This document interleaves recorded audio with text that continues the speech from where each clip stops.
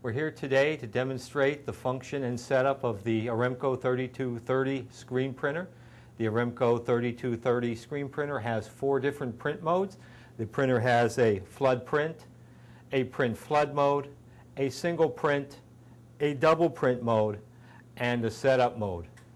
In the setup mode, we can actuate all of the setup buttons. We have a squeegee button, we have a forward, away, and a vacuum button that we can use to set up and adjust all of the features of the screen printer.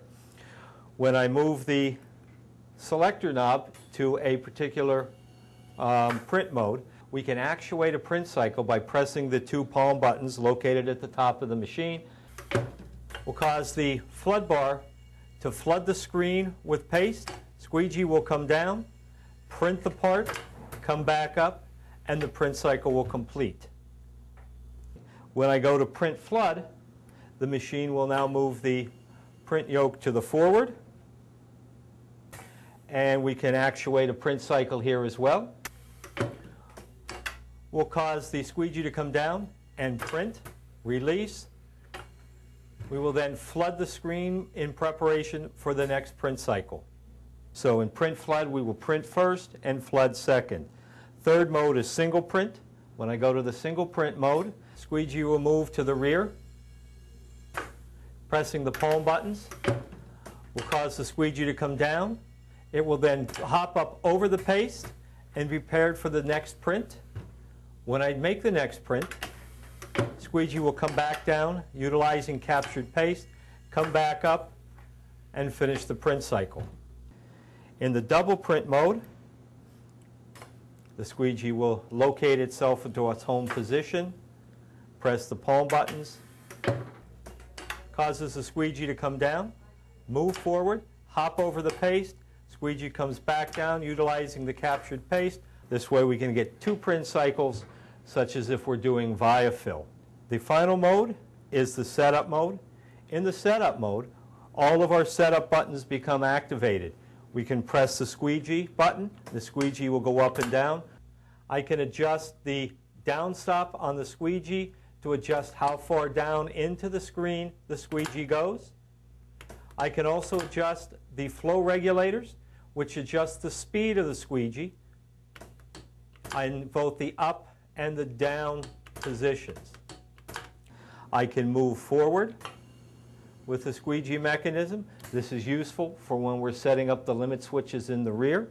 The first limit switch is for the forward distance.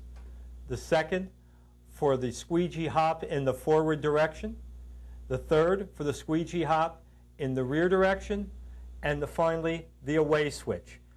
By adjusting the four switches, you can adjust the distance of travel of the print yoke for your part.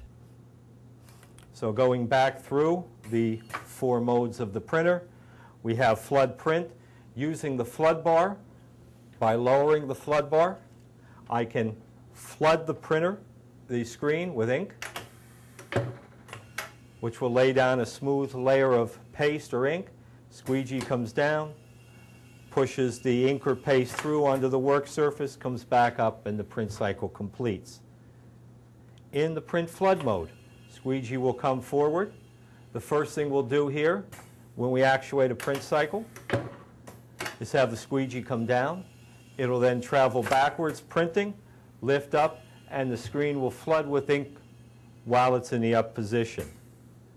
Single mode, again it's going to go to the home position in the rear.